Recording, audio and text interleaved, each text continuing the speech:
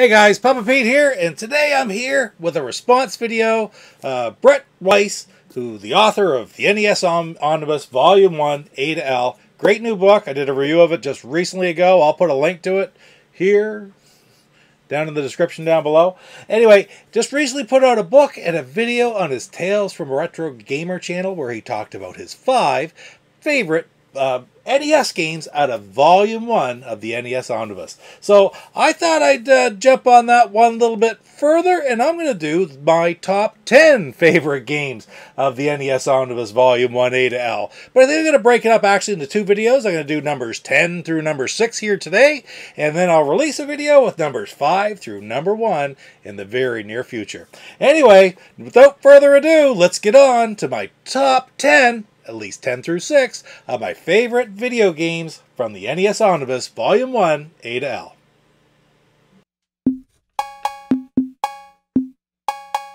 Papa Pete, Papa Pete, the old ass gamer. Pete, Papa Pete, the old ass gamer. If you haven't grown up by the age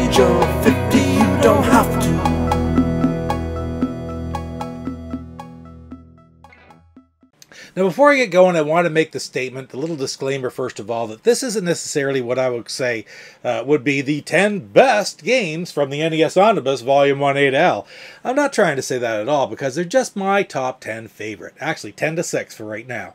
But the bottom line is, is this the absolute best games may not be my personal favorite. So big influence on me is the nostalgia of uh, of playing these games when I was younger, having them, having them, playing them with family, playing them with friends, and just generally the memories that they mean for me and how much I enjoy playing them today. So without further ado, let's get started.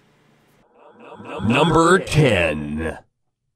Now this game very well could be on a lot of people's top 10, and it's my number 10, and that is Blaster Master fantastic game with different ways of uh, different modes of gameplay for example within the tank itself and then of course when you get out you play within the mazes.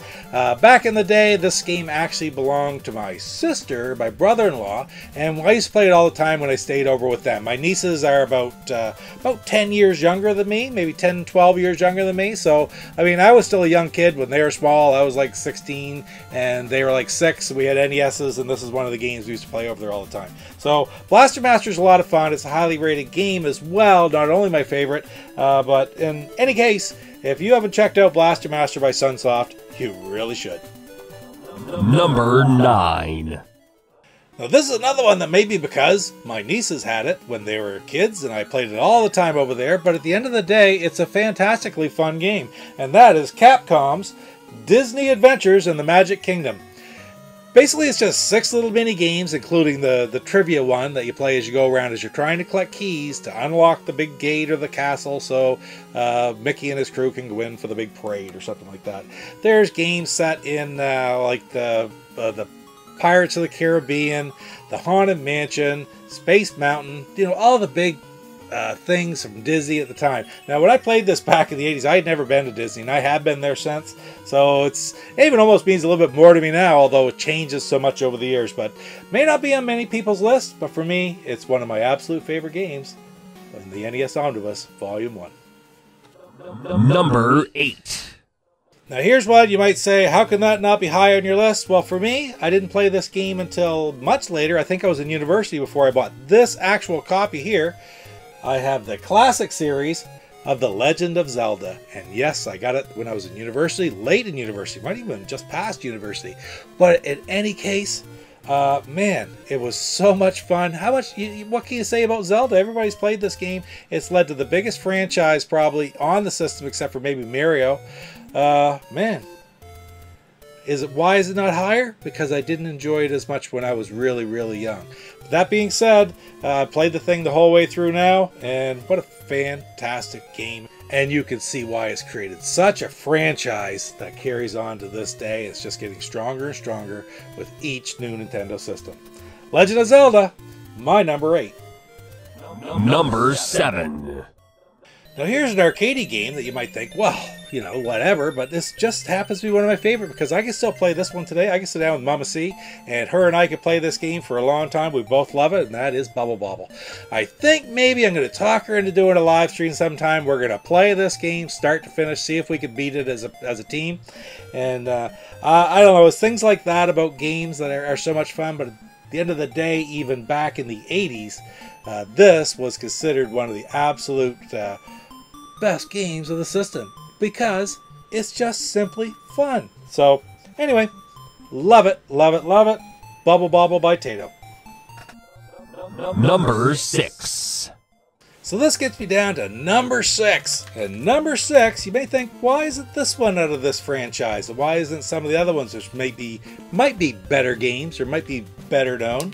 But this is the one that I played most when I was a kid, and that is Castlevania 2 Simon's Quest. It had all kinds of faults. Uh, but it tried to do something, uh, add something to that Castlevania series, which didn't really carry on, at least in Castlevania 3. But uh, the adventure aspect of it was it very well done? Uh, no, not really. But still, it was a fun game. Uh, frustrating at times, hard to figure out at times. Yeah, I really had to have Nintendo Power to be able to do anything with it. But uh, at the end of the day, I can still remember playing this. My brother had it, my nephew, and it was just a lot of fun to play and try to figure out the, the things that were in it. Because, man, it was tough, I tell you. But uh, at the end of the day, this is another one of these games that I can't, I really want to go back and stream and beat it start to finish. I don't know that I ever did finish the game. I really don't think that I did, but it deserves to be done. And by the way, there's one called Simon's Quest or Castlevania 2 Redaction, which is a fan hack that makes the the things that the, the village people, the villagers say, meet, make more sense. And it also does things like get rid of the, the adjustment to, from uh, day to night makes those a lot shorter and quicker and it really just makes some improvements to the game so maybe that's the one i'll play actually simon's quest or castlevania 2 redaction but uh, in any case uh, with all of its faults this still is one of my favorite games in the uh, nes omnibus volume 1 well, guys, that's the first five of my top 10 favorite games in the NES Omnibus Volume 1, A through L. And I'm going to say this right now. Uh, the next five might have some games that you're a little bit more familiar with, or you may anticipate a little bit more, but I bet you it's going to have some surprises in it as well. Anyway, guys, until the next video comes out, thanks for spending a little bit of time with me today. Don't forget to like, comment, subscribe, and we'll see you next time. Take care. Papa Pete, Papa Pete, the old ass gamer. Pete, Papa Pete, the old ass gamer. If you haven't grown up by the Hey, Brett Weiss here, author of the 100 Greatest Console Video Games 1977 through 1987 and many other books, and the host of Tales from a Retro Gamer. You have been watching Papa Pete, the old guy gamer. In fact, he's so old, he just might be older than me.